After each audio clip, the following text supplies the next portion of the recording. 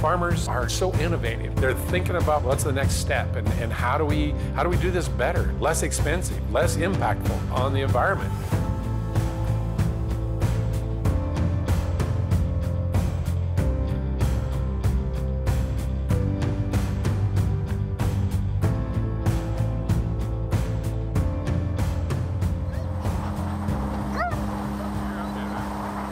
Roric Paulman, a producer from southwest Nebraska. I've been involved in the water issues in Nebraska for over 20 years. My grandfather came out, and, and we actually were in the Platte River Valley. We're on the edge of the sandhills, and so we're in a we're in a sandy loam.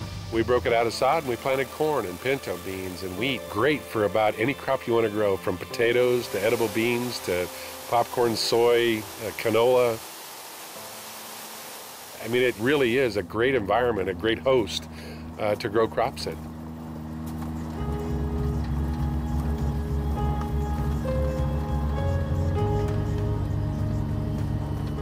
We're in a rain deficit area.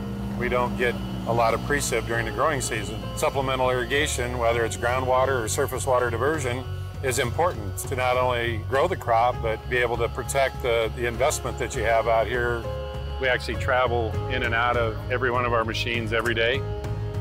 There's maintenance that has to be done. There's all kinds of evaluation tools that you obviously want to pay attention to to make sure that it's operating and functioning correctly. The panel is all computerized. I can access it here at the well, or I can actually access it from my phone or my laptop computer or my desktop computer.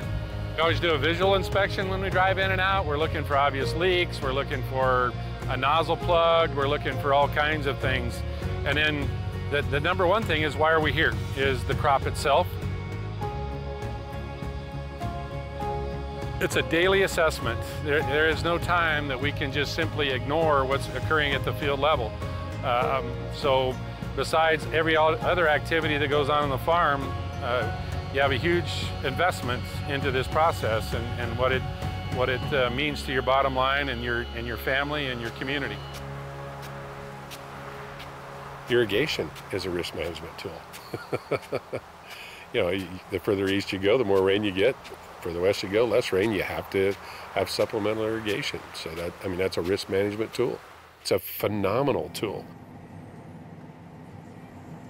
the beauty of, of some of the aspects of the precision agriculture, we're, we're able to start measuring those, those pieces of the puzzle to make better decisions on water and nutrient management.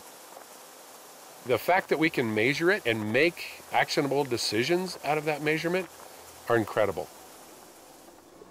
I have to be a good steward and be conservation minded.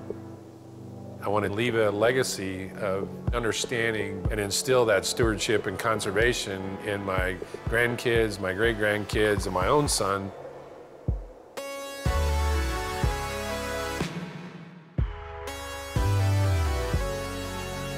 Of the best water in the world, right there.